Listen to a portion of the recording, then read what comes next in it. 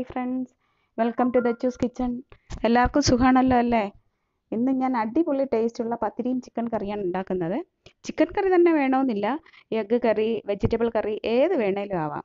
എനിക്ക് ഒത്തിരി ഇഷ്ടമുള്ള ഐറ്റമാണ്. ശരി ഇൻഗ്രീഡിയൻസ് ശ്രദ്ധിക്കുക.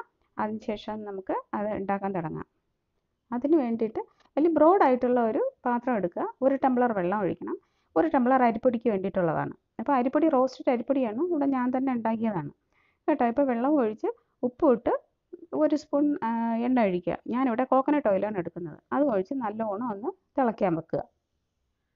വെള്ളം തിളയ്ക്കുന്നതിനിടയ്ക്ക് ചിക്കൻ കറി ഉണ്ടാക്കാൻ വേണ്ടിയിട്ടുള്ള ഉള്ളിയും തക്കാളിയും എല്ലാം കട്ട് ചെയ്ത് വെക്കാം. ചിക്കനെ കഴുകി കട്ട് ചെയ്ത് വെക്കാം. അപ്പോഴത്തേക്ക് വെള്ളം തിളയ്ക്കും.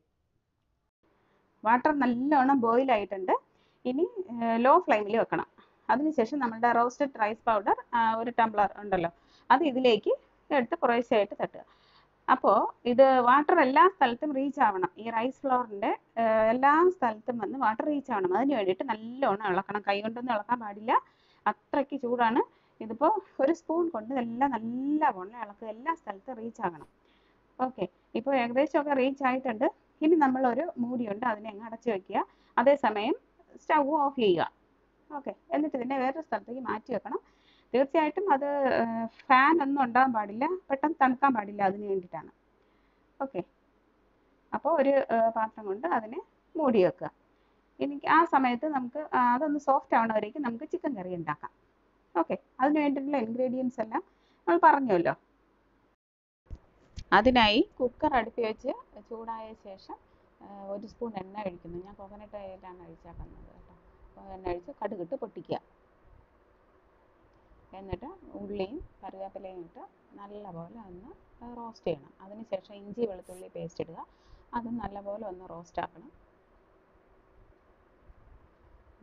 അതിനുശേഷം നമ്മുടെ മസാല കൂട്ടിലെ മല്ലിപ്പൊടി മുളക് പൊടി മഞ്ഞൾപ്പൊടി അത് അത്രയും കൂടെ ചേർക്കണം. അത് അത്രയും കൂടെ ചേർത്ത് അതിനെ നല്ലപോലെ ഒന്ന് വറക്കണം. ഞാൻ മുളക് പൊടി ഇവിടെ രണ്ട് സ്പൂണാണ് എടുത്തേക്കുന്നത്. കാരണം ഞാൻ ഗ്രീൻ ചില്ലി ഒന്നും എടുത്തിട്ടില്ല. ഓക്കെ അത് നല്ലപോലെ ഒന്ന് റോസ്റ്റ് ആവണം. റോസ്റ്റ് ആയിട്ട് ഒരു നല്ലൊരു സ്മെല്ല് വരണം. റോസ്റ്റ് ആയതുകൊണ്ട് നല്ലൊരു സ്മെല്ല് വരുമ്പോഴത്തേക്ക് തക്കാളി ഇടണം. തക്കാളി ഇട്ട് നല്ലപോലെ അതും വഴറ്റുക. ഓക്കെ തക്കാളി നല്ലപോലെ ഒന്ന് റോസ്റ്റ് ആവുക. ഏകദേശം ഒരു വൺ മിനിറ്റ് ടു മിനിറ്റ് ഇതിന്റെ മസാലയുടെ റോസ്റ്റിങ്ങേ മതിയാവും. അതിനുശേഷം ഗരം മസാല പൊടി അതിടുക ഗരം മസാല പൊടിയും ഇട്ടിട്ട് നല്ലവണ്ണം അതും ഒന്ന് റോസ്റ്റ് ആക്കണം. അതും ഒന്ന് നല്ലപോലെ ഒരു സ്മെല്ല് മസാലയുടെ സ്മെല്ലെല്ലാം നല്ലപോലെ വന്ന് കഴിയുമ്പോഴത്തേക്ക് ചിക്കൻ ഇട്ടാൽ മതി. ഓക്കെ ഏകദേശം ഒക്കെ മസാല ഒന്ന് റോസ്റ്റ് ആയിട്ടുണ്ട്. ഇനി ചിക്കനും ഇട്ട് ഉപ്പിട്ടിട്ട് അത് നല്ലവണ്ണം ഒന്ന് മസാലയൊക്കെ ഒന്ന് നല്ലവണ്ണം പിടിച്ച് കഴിഞ്ഞ് വെള്ളം ഒഴിച്ചു.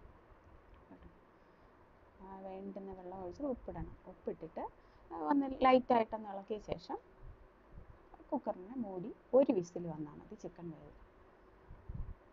എന്നിട്ട് ആവശ്യത്തിന് ഉപ്പ് നിങ്ങളിടുക എന്നിട്ട് കുക്കറിന്റെ ലിഡ് വെച്ച ശേഷം വിസിൽ വെക്കുക. വൺ ഒരേ ഒരു വിസിൽ.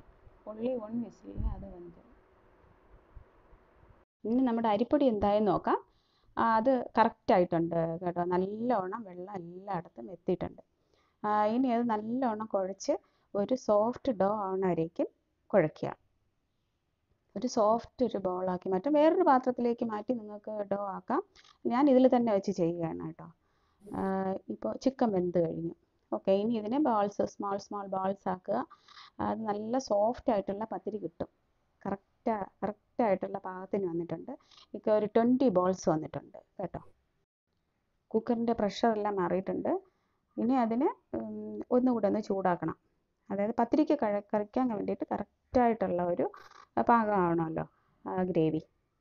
ഇപ്പോൾ ഒന്നുകൂടെ ഒന്ന് തിളപ്പിച്ച് അതിനെ ഒന്ന് നല്ല കറക്റ്റായിട്ടുള്ള ഒരു ഗ്രേവിയാക്കി മാറ്റണം.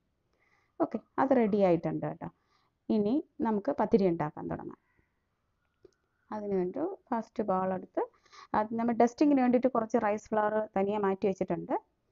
ഇപ്പോൾ അത് ഫസ്റ്റ് ഒന്ന് മാവിൽ മുക്കിയ ശേഷം പരത്തുക. ചപ്പാത്തിക്കെല്ലാം എങ്ങനെ പരത്തുന്നു അതേപോലെ പരത്തുക. പക്ഷേ ഇത് കുറച്ച് നൈസായിട്ട് എത്രത്തോളം നൈസായിട്ട് പരത്താമോ അത്രയും നൈസായിട്ട് പരത്തുക.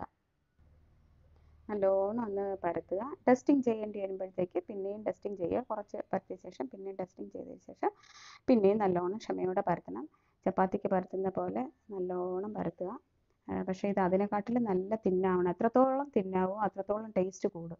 വീണ്ടും വീണ്ടും വീണ്ടും ടെസ്റ്റിംഗ് ചെയ്തിട്ട് അത് പരത്തിയിട്ടേ ഉണ്ടാവാം. ഇങ്ങനെ നല്ലോണം പരത്തുക. നല്ലോണം പരത്തി എത്രത്തോളം തിന്നാക്കാൻ പറ്റുമോ അത്രത്തോളം തിന്നാക്കുക. പൊട്ടാതെ നോക്കണം. എന്നിട്ട് ഡസ്റ്റിംഗ് വേണമെങ്കിൽ നമുക്ക് വീണ്ടും വീണ്ടും ഡസ്റ്റിംഗ് ഉപയോഗിക്കാം. അപ്പോൾ തിക്നെസ് കൂടി കൂടി വരുമല്ലോ. അതുകൊണ്ട് ഞാൻ ഇനി ഡസ്റ്റിംഗ് ഉപയോഗിക്കുന്നില്ല. നല്ലോണം ഒന്ന് പരത്തിയിട്ട് ഷേപ്പ് ചെയ്യാം.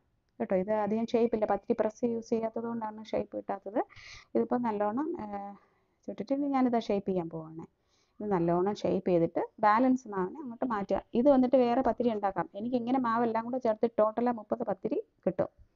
കേട്ടോ? കണ്ടോ? നല്ല സോഫ്റ്റ് ആയിട്ട് നല്ല ഷേപ്പിന് കിട്ടിയിട്ടുണ്ട്. നല്ല സോഫ്റ്റ് തിന്ന നല്ല കിട്ടിയിട്ടുണ്ട് കേട്ടോ.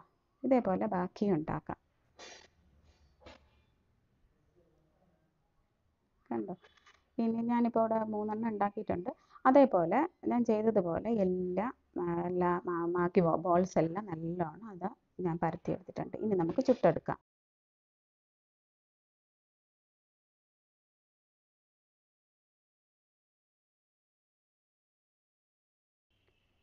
വൺ ബൈ ആയിട്ട് ചൂടായ തവയിലിട്ട് ചുട്ടെടുക്കുക. ഇതിപ്പോൾ നോക്കൂ ഞാൻ ഇതിൽ എണ്ണ യൂസ് ചെയ്യുന്നില്ല.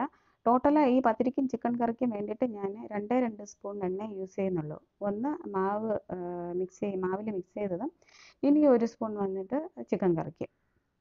കേട്ടോ? ഇത് പെട്ടെന്ന് പെട്ടെന്ന് തന്നെ ചുട്ടെടുക്കാം. അധികം ബ്രൗൺ ആവുകയോ അങ്ങനെയൊന്നും വേണ്ട. ഇതിപ്പോൾ ഒന്ന് ഒരു ടെൻ സെക്കൻഡ്സ് മതിയാവും. എന്നിട്ട് തിരിച്ചിട്ട് ഒരു ടെൻ സെക്കൻഡ്സ് അത്രയും ആകുമ്പോഴത്തേക്ക് പത്തിരി റെഡിയായി ഞാൻ ചില ഇതൊക്കെ വന്നിട്ട് ഞാൻ ബബിൾസ് വരുന്ന കാണാൻ നല്ല ഭംഗിയാണ് എനിക്ക് ഭയങ്കര ഇഷ്ടമാണ് അത് കാണാൻ. അതിന് വേണ്ടിയിട്ട് ഞാൻ ഇങ്ങനെ കുറച്ച് നേരം വെച്ചേക്കും. കേട്ടോ? അങ്ങനെ ചുട്ടെടുക്കുന്നതേ ഉള്ളൂ.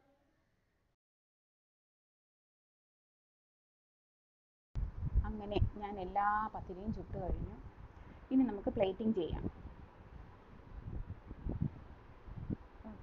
നല്ല ഭംഗിയാണ് കാണാൻ അതിലേറെ ടേസ്റ്റുമാണ് പത്തിരിയും ചിക്കൻ കറിയും ബെസ്റ്റ് കോമ്പിനേഷനാണ് കേട്ടോ.